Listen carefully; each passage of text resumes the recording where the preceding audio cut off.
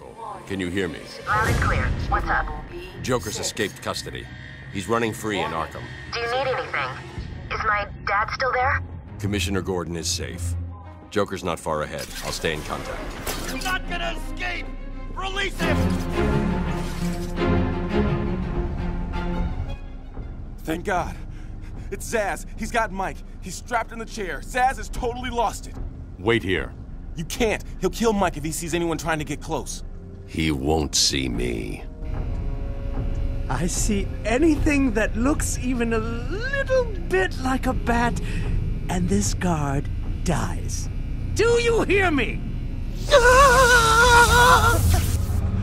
Look at the pig pie.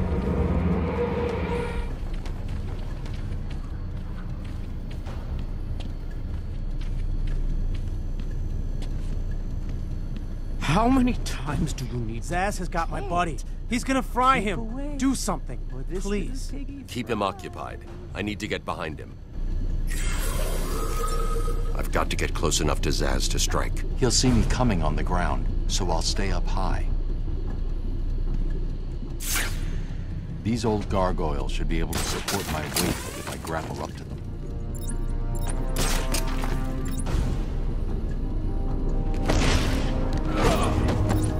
Zsasz is down, but not for long. Got to get him. Someone put this animal back in his cell. Hello, Batman. Do you recognize my voice? Victor Zsasz. In the flesh. I'm so happy you remember me. I'll never forget you. I've got a special game planned, Batman. A game just for you. Ring, ring.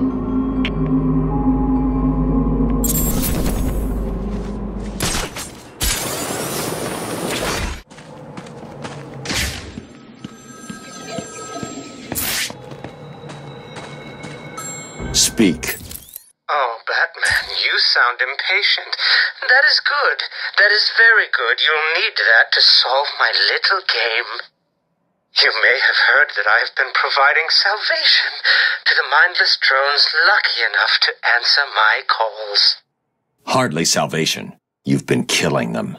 That's a question of perspective.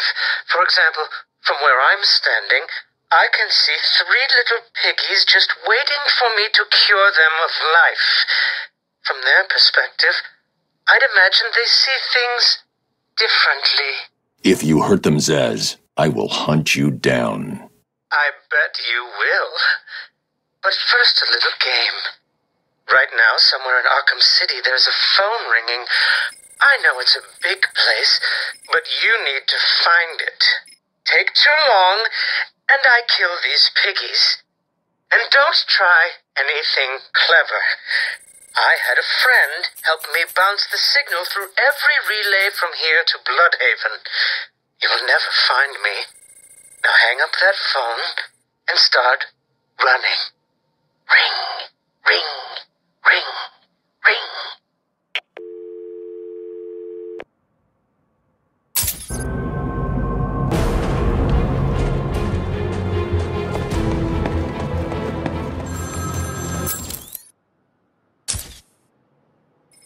Did I ever tell you about my first kill, Batman? No? As I am sure you are aware, my parents were dead and I was rich. So rich I could have anything I wanted, but of course, all I wanted was them back. I now know that that was impossible, of course, that their hmm. death served a higher purpose. But back then, I had yet to experience the joy of cold steel cutting through warm flesh. I had no idea how I could save these people from the relentless misery of their existence. You should have stayed that way. Really? Then I'll stop now. Find another telephone, Batman. Goodbye.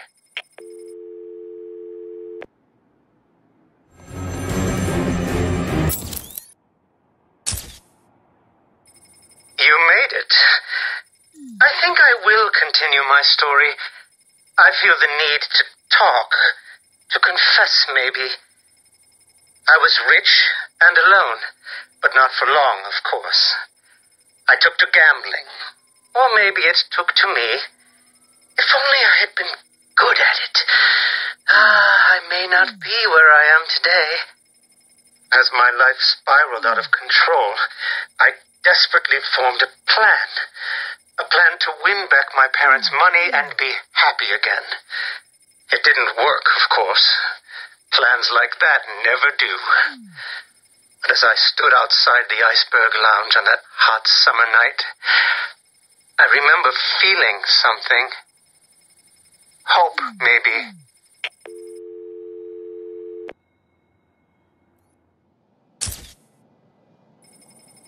The iceberg lounge was crawling with the disgusting flesh of humanity.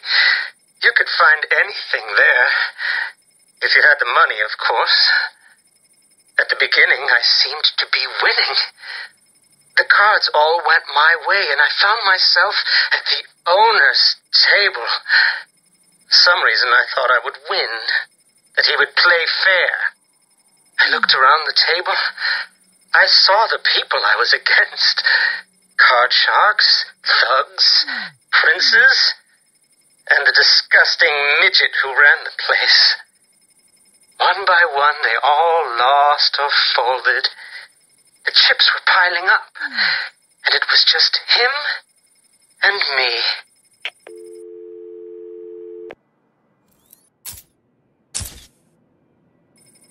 They called him the Penguin, even back then. He had both eyes, of course. That little accident hadn't happened yet. And both of them were looking at me when I put down my cards. Six of clubs. Six of diamonds. He looked scared. He leaned forward, and I could smell the cigar stench on his breath. The six of spades, and finally, the six of hearts. I felt good.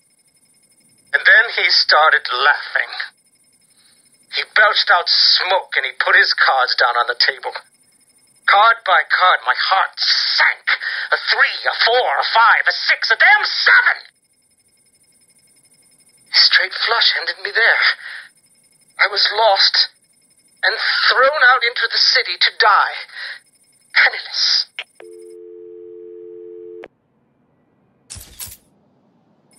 Can you imagine what it was like, Batman? I was numb. I'd lost everything, and I was alone, crying like a baby staggering through the streets of this city until I found the answer that I had been looking for. I stood there on the Sprang Bridge, looking out at the sea. I felt the warm breeze on my skin, and it felt right. I looked down and imagined myself falling into the blissful arms of my mother. And then he appeared. He held out the knife and demanded my money. My money! Can you believe it? I looked into his cold, desperate eyes, and I saw something familiar, something inevitable. I saw oblivion. I saw that we are all the same, stuck on a miserable loop that demands salvation. So I gave it to him.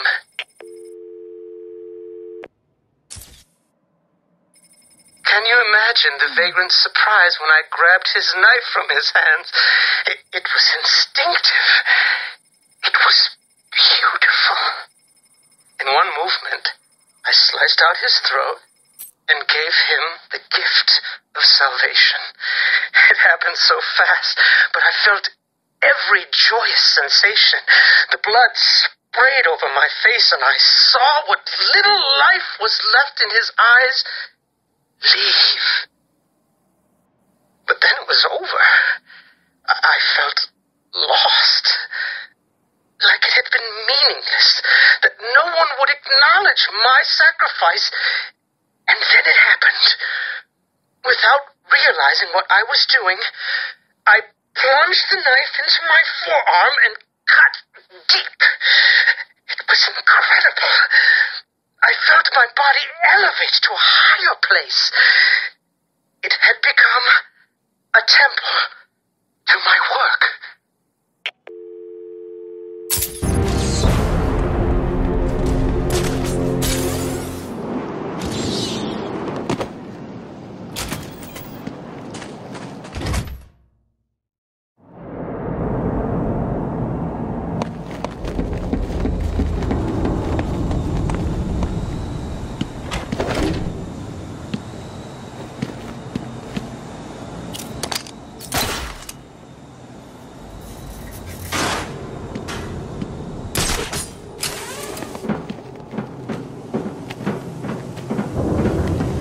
You. You I will gut like a fish.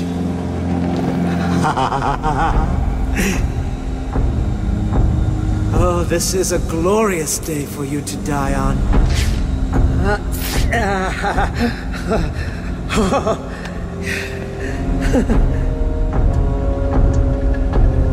You're probably praying I will end your lives quickly. I won't. I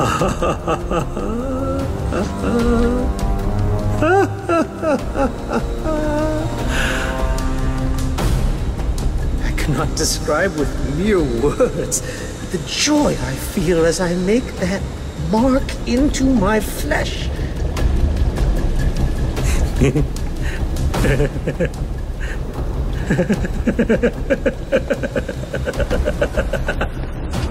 This is all much fun, isn't it, Peggy? I'm enjoying myself so much.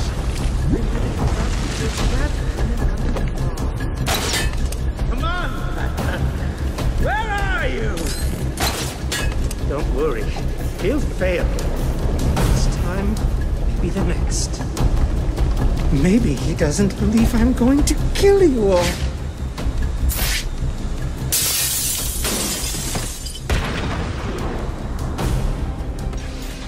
This is not over.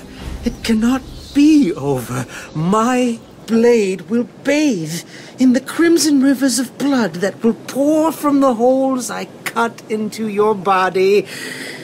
You cannot deny me the mark. I need to make the mark. It's all I have left.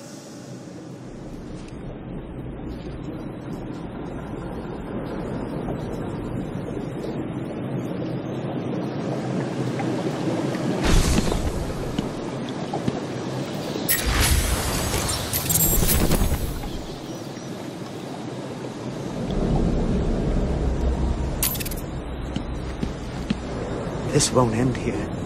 I will get out of here and continue my work. You are going to be mine. When you least expect it. That psycho looked I into my eyes and told me what he was going to do to me. I've never been so scared. Watching. He's locked up now. You'll be safe here. I owe you, Batman. This maniac was talking like he was gonna cut us up. He was. You'll be safe here for now. He's not going anywhere.